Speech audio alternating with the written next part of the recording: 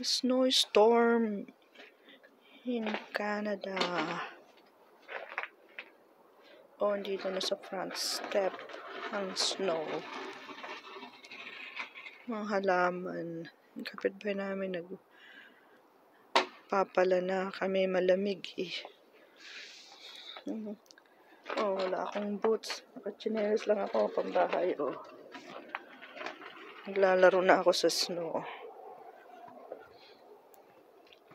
ang lalim na. Prediction is 9, 5 centimeter of snow.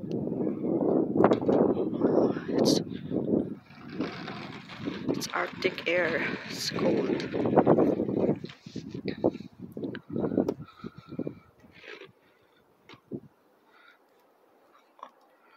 Sasunduin na yun mamaya anak ko sa airport from Mexico. From the tropic, tropical weather to snowy weather. Kawama yung anak ko maninibaw yung katawan niya. Have a good day, guys. Balik na ako sa loob. Oh. Oh.